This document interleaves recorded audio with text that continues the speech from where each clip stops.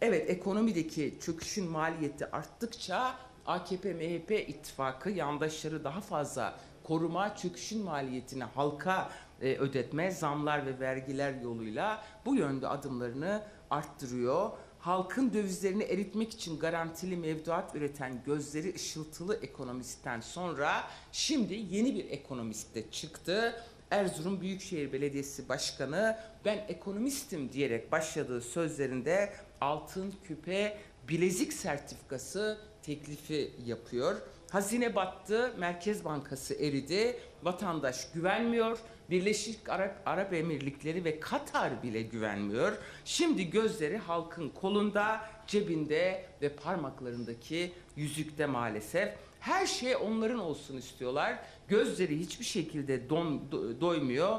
Vatandaşta bir kan, bir can kalsın istiyorlar. Hakikaten gerisi o hep onların olsun diye sürekli projeler üretip her sabah ekonomist olarak yeni bir ekonomist olarak uyanıyorlar.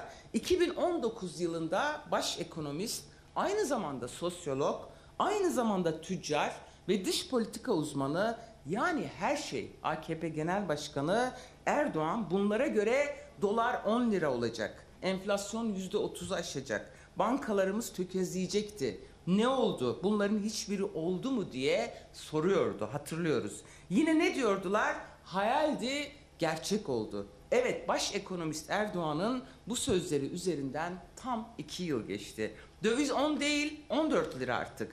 Döviz alıp satan yandaşlar için hayaldi, gerçek oldu. Bu doğru. Enflasyon %30 değil, %36 oldu. Politika faizi düş, faizini düşürdüler, enflasyonu uçurdular ama reel sektör bir tek puan bile faiz düşüşünden yararlanamıyor. Bu iktidarın hayalleri Türkiye halkları için korkunç bir felakete dönüşmeye devam ediyor. Bu felaket